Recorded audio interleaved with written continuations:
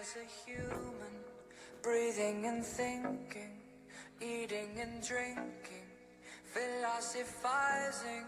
I was a human before you killed me and ripped my heart out. I knew what love was. Now when they ask me, I just reply slow and sound like an iPhone.